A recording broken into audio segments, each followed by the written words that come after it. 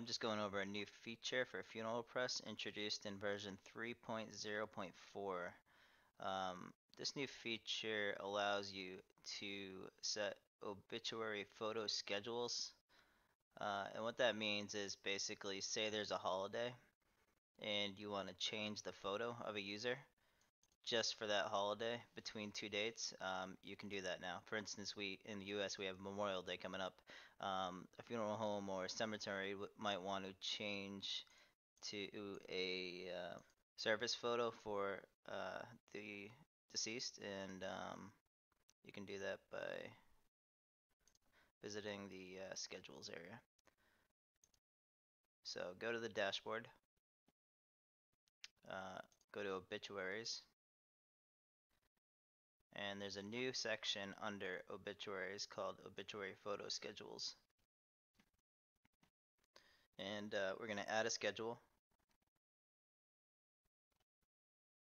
and call it Memorial Day. Um, you can put a description here.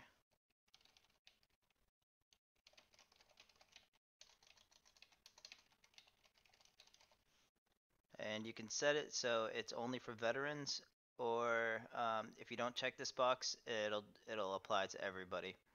So um, since this is a veteran holiday, we're gonna click that box. Um, you can also enable and disable this, um, but right now we'll set the uh, dates. We'll set um, uh, current dates today, just so we can see it. But uh, we would select um, May if this was Memorial Day. So click save.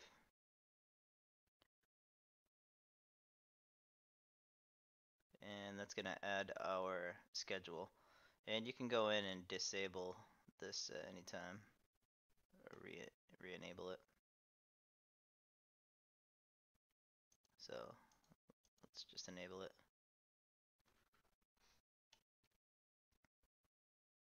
Okay, so now that we have that, um, we're going to want to edit an obituary.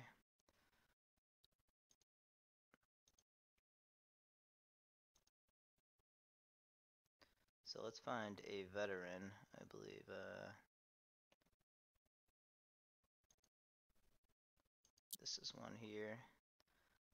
Um, yep, we have a veteran. And now we'll see this new section here for a Memorial Day photo.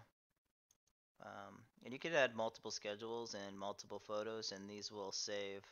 Um, so let's add a photo here.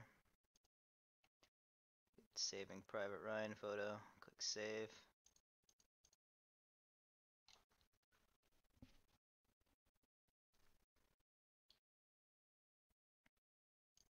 And on the front end, we should have our new photo.